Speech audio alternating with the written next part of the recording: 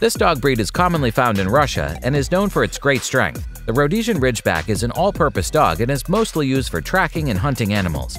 These dogs are very powerful and fast and are also used for racing. They're a wheat shade in color and have a brown nose. The Rhodesian Ridgeback is also a perfect house pet and is famous for its power and stamina. These dogs are affectionate, loving, and can weigh up to 85 pounds. Without enough socialization, Ridgebacks may become either aggressive or shy and nervous. There is the potential for aggression. After all, Rhodesian Ridgebacks are hunting dogs with predatory instincts. In addition, Ridgebacks can be dominant or aggressive toward other dogs. The breed needs patient and consistent training and a lot of positive motivation from puppyhood to avoid becoming a domineering nuisance. They're also known for their strong athleticism, noble carriage, and intelligence in their eyes. The history of the breed only adds to its allure. Owners are often asked, did they really hunt lions? And the answer is yes. The Ridgeback was developed in Africa to corner and hold big game prey, such as lions, bears, and boars.